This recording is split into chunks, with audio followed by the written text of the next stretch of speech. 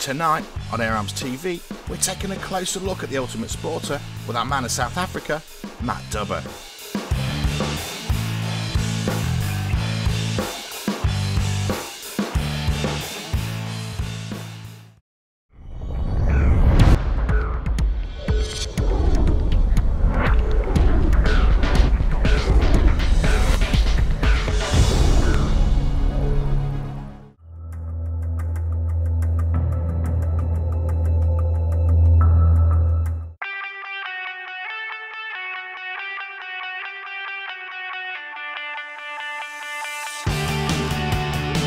Arms have been producing world-class rifles for decades now and for almost 10 years I've been shooting with Arms PCPs.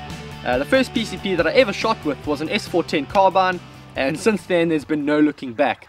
I've shot competitively with the S200 and MPR, I've hunted for years with the S510 Extra, but there's a new kid on the block, a rather powerful kid, and uh, this big boy right over here has impressed me more than any other PCP that I've managed to get my hands on so far. Now make no mistake, the internal mechanics of the Ultimate Sporter are exactly the same as the S510, but what makes this rifle special is the beautiful laminate stock. If I could sum this rifle up in one word, it would be adjustability. This rifle gives you almost endless options when adjusting the stock to suit your requirements, and this has a hugely positive impact on your ability to shoot comfortably. The rifle comes fitted with front and rear swivel studs, allowing you to fit a sling and bipod right out of the box, and the stud on the front is actually on an accessory rail, meaning you can slide it forward and backwards to suit the situation.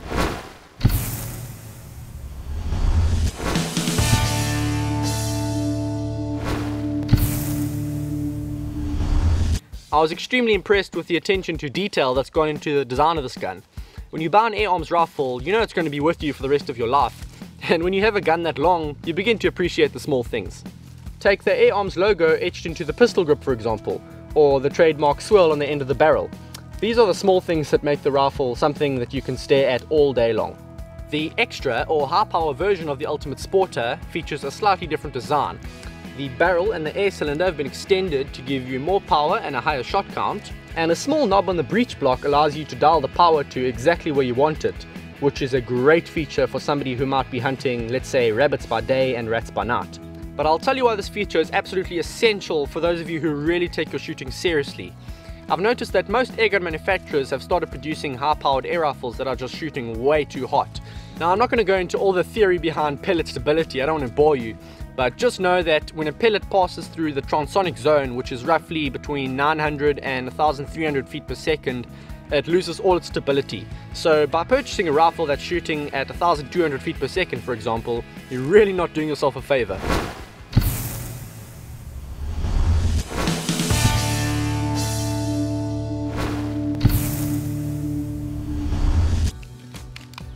Arms have been really smart and allowed you to dial that power to that sweet spot of around 860 to 920 feet per second, regardless of what caliber or pellet you decide to use, and allow you to take your shooting to the next level. To show you just how accurate this rifle is, I went out and I shot a whole bunch of groups at distances ranging between 25 and 100 yards. On full power this gun was shooting at about 40 foot-pounds, but I turned the power down to 30 foot-pounds and the accuracy absolutely blew me away. This right here is a 25 yard group. Five shots. It's an absolute joke for this gun. And at 50 yards, this is what you can expect. These are 10 shot groups, JSB 15.9 grains at the top and 18.1 grains at the bottom. It's absolutely dead on. Crony testing revealed that despite not being regulated, this rifle will give you superb consistency if shot within a certain pressure range. I managed to get about 40 consistent shots when shooting between 190 and 150 bar. When hunting, you want a rifle that's easy to reload and a rifle that's quiet when fired, and the Ultimate Sporter gives you both. The 10-shot magazine is extremely easy to load and the side lever enables you to cock the rifle effortlessly. When the time comes to take the shot, the full-length shroud keeps the muzzle report to a minimum. There's also the option of fitting a silencer like the Q-Tech which will reduce the noise levels even more.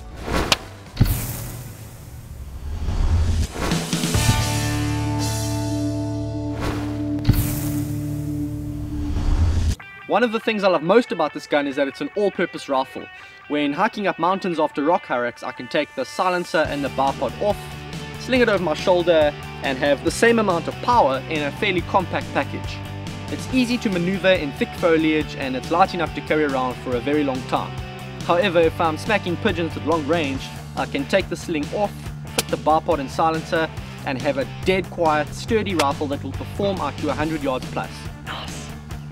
Now here's the cool part about this review. I'm not just someone who's picked up this rifle today and was asked to talk about it. I already know this gun intimately. I've done pest removal jobs shooting house sparrows and pigeons, and I've hunted for food as well, shooting hyrax, Egyptian geese, yellow-billed ducks, guinea fowl, hares, spring hares, you name it. So if you're looking for an all-purpose rifle that adjusts to suit the way you shoot, you'll definitely want to consider the Ultimate Sporter. It's one of those rare gems that you'll want to hang on to your whole life. Oh, I know I'll be very reluctant to let go of this one. And I think there's some ducks on the stand behind me right now.